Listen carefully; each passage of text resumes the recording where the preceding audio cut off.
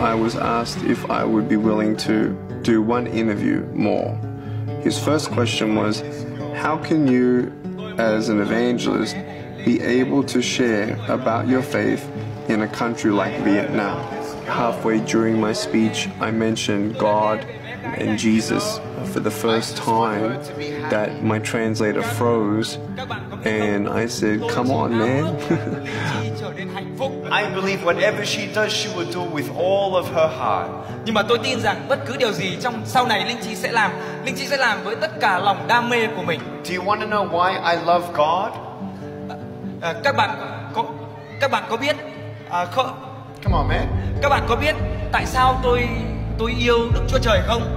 Because I know heaven is real.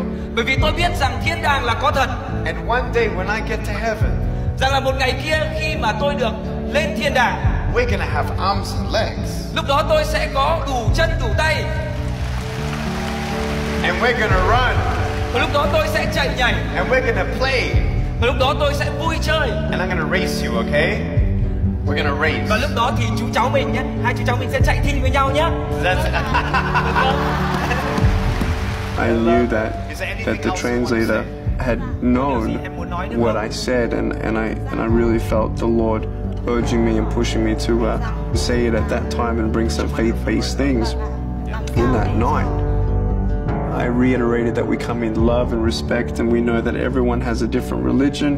We need to uh, love everyone, but I know that people are intrigued by the source, and to get to the source of you know how I became who I am and my strength and and my life's purpose, I would not have it without my faith in God.